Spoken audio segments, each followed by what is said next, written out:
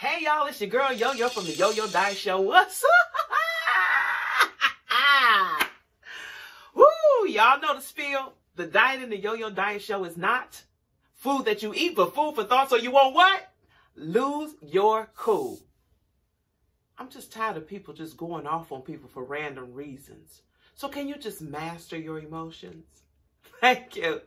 As I look at the camera, yes, I have the camera turned around and I'm just looking at this lipstick. It's just popping. Yes, I, I mean, you know, I could just do like this and it's, it's not coming off. So this is NYX matte. Okay, let me show you this, y'all. It's right here. I have it right here. Okay, it is uh, NYX. Okay, NYX matte. Okay, it's number one five seven one nine nine seven nine four four one nine. Uh, UPS code nine seven six. That's right. NYX, you have you you you hardly know what it is. You you don't even know. You just have to go and just hope that the bottle look like the other bottle. Cause it number seven four four nine seven four four eight nine. All right, let's go into this uh, situation. Today, I'm going to give you five ways to support your channel. Remember, this is your channel. Yes, I will help you. I will. Every time you tune in to the Yo-Yo Diet Show, you'll understand that the diet is not food that you eat, but food for thought. So you need to think about it. So, with that being said, I will help you.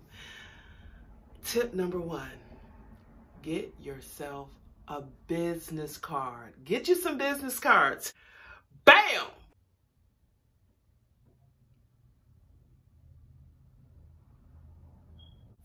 On your business cards, the only thing you need is your profile's picture that's on your YouTube channel. You also need the URL to your YouTube channel. You also need to have a brief description of what your content is on your YouTube channel and your email address. That's it. That's all. Next. Number two, before 2020 hits, you want to get yourself a what? Bam! Organizer. That's right. You want to schedule when you're going to write your script, when you're going to vlog, and when you're going to edit. Because we all know editing takes 90,644 years.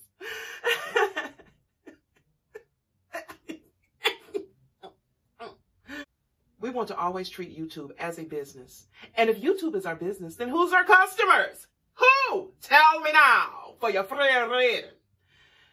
Your customers are your subbies, your subscribers. So with your subscribers, what do you want to do? What do you do? Some of you do it, some of you don't, some of you do it, some of you don't. Start doing it. 2020. Answer all questions. Respond Okay?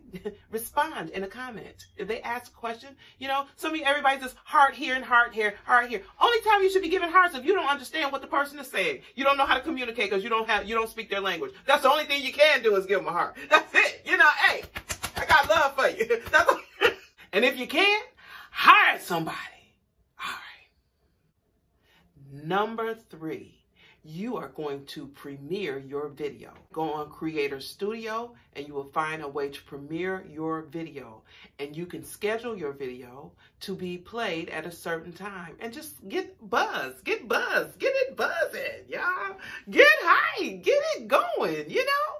Number four, use memes in your content. Do some funny stuff. Put some funny clips. Use some video clips.